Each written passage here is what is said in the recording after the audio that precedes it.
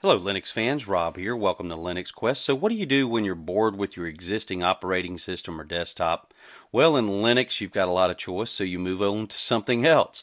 Uh, in this case, I uh, switched over to Manjaro 1610 and got a little different with the Deepin desktop environment. So uh, was trucking along, getting things set up, and had a system update of about 500 megs. And after the update, uh, did a system reboot came back in and noticed that lo and behold, I was running Deepin Desktop 15.4. Now, I didn't even know that 15.4 was on the horizon, so I just want to share what I've seen in way of changes. Um, basically, they're cosmetic changes within the control panel, and I haven't found changes in other places, uh, so we're going to jump right over to the control panel. Now, what you'll see here, again, cosmetically, there are a lot of changes. Um, I'm a little mixed uh, as far as the look. I think in some areas it does look more professional, uh, but this is what you'll see launching the control panel. And uh, typically you will have your weather showing up here. I've turned that off. And you'll also see system notifications if you have any there. So uh, again, you'll see a nice row of icons showing your location and your weather. Uh, we have the clock here up top. We have volume slider here as well as brightness slider and then an icon for the main settings. Now this is where things start to look um, really different. Uh, you'll see it's a flatter look as opposed to 15.3. You still have the categories and this is where again I guess I'm a little mixed here in the way things look.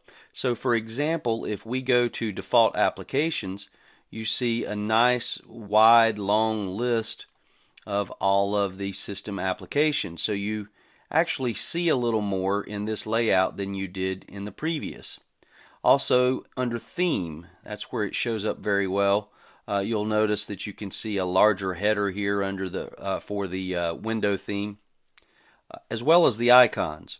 Now I've added the uh, Sardi arc set of icons, but uh, so you'll see those here. But one thing I want to point out is, and this is the Deepin default, is that you see more of the icon set, uh, larger icons as well as you did in 15.3. So um, I guess in that regard, it's nice.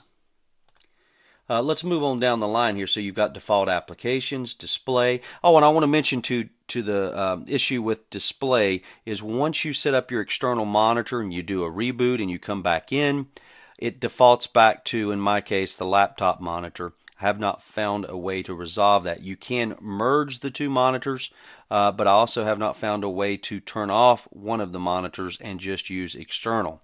So I wanted to uh, make you aware of that. Uh, let's move on down here to network. So you've got a quick toggle for wireless network card. Uh, you can also get a list, a complete list here of networks available uh, with Bluetooth. You've got a toggle there, and if you turn off Bluetooth, it will stay off. Now, here's where I like things quite a bit.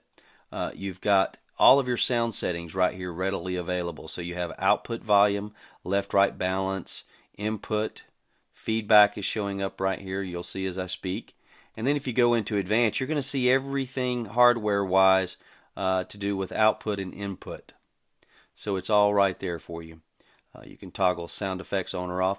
Also, there used to be a bug in 15.3 where the time zone didn't show up properly or wouldn't really let you change it. Uh, that seems to have been resolved, so um, time zone is exactly what it should be. Power management here, so with sliders you can adjust that. And then I really like the mouse and trackpad controls here because it's kind of a complete list. Uh, left hand, right hand mode, natural scrolling, double click speed, and this is kind of cute. it's a little animation there. I thought that was a nice little addition. Pointer speed, touchpad, keyboard and language. So you've got keyboard layout, system language, and shortcuts. And you'll notice here at the bottom you can add your own custom shortcuts. So overall, um, you know, visually changed. I'm not sure what's going on under the hood yet. I'm going to have to read into that, but I just soon as I saw this, I immediately wanted to share this uh, with you so that if you're interested in Deepin or maybe you're running Deepin 15.3, you'd have an idea of what Deepin 15.4 looks like. Now again, I can't find really any changes anywhere else. Um, file manager, the menu launcher, and everything seems to be the same. So I'll have to dig into it a little more. I uh, hope this helps. Thanks for watching, and we will check you later.